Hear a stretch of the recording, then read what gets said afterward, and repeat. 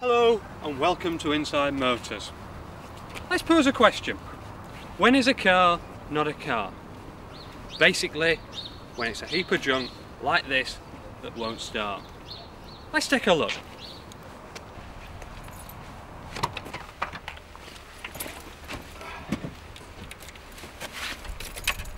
Look at that. Absolutely nothing. What we need now is a nice friendly neighbour to give us a jump start. See if we can find one. Right, we've given Stephen a call and he should be on his way now to give us a jump. Oh, look, here he is now.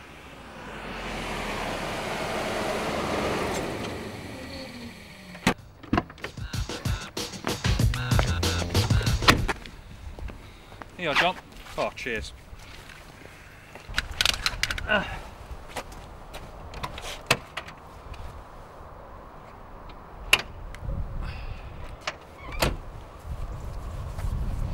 Stephen, can you open your bonnet?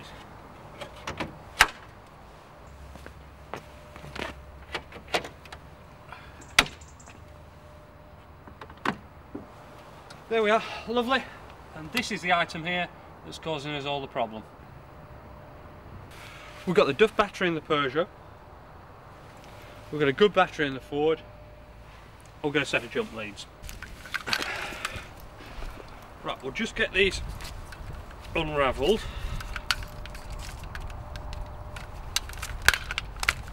It's almost like knitting this. Uh, keep those two separated on the ground and connect them up to your Duff battery first. Put the black one to the earth, the red one to the live and then go to your car with the power. Connect the earth up. And just hang on to the power. Right Steve you start her up. Now with your donor vehicle running now's the time to connect. A little plastic clip. Causing me a problem Right, now this Peugeot should start. We'll see if it will.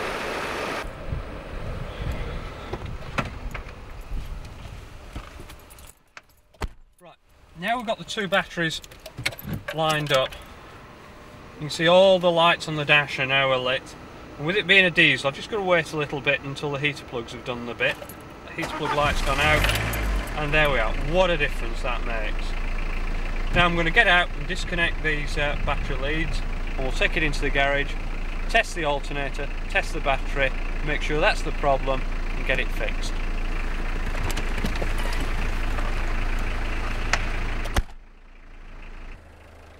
Right, now we've got these cars started, let's get rid of these battery leads. Take them off the Peugeot first, keep them well separated, and then we'll take them off this Ford.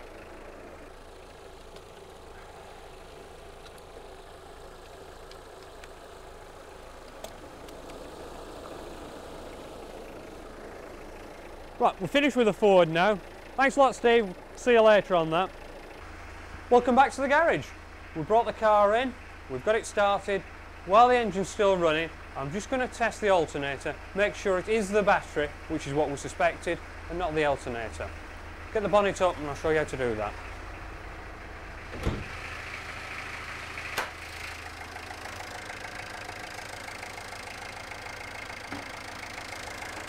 Right, I'll get my voltmeter.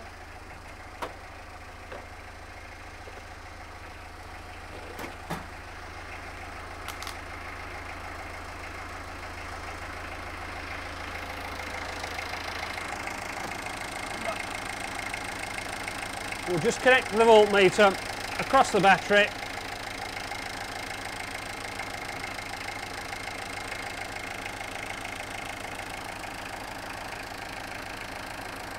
There we go. About 14.3 volts. This is just about what it should be. So, as we suspected, it is a battery problem and not an alternator. Very simple job to fix. let's get on with it, stick a new battery on this. We've turned the engine off so we can change the battery. Just need to go and get some tools so I can take it off. What we need is 10mm socket, extension and ratchet and a 10mm spanner which should be, there it is.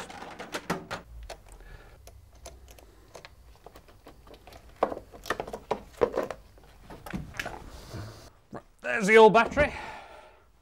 Here's the new. Let's get it fitted. Right, plonk it straight in to the position the old one came out of. Clear some cables out of the way. First job is to refit the battery clamp. Do the positive first, again for safety reasons, because without the earth strap connected we won't get any sparks with the metal tools tighten it up, put everything away, drop the bonnet.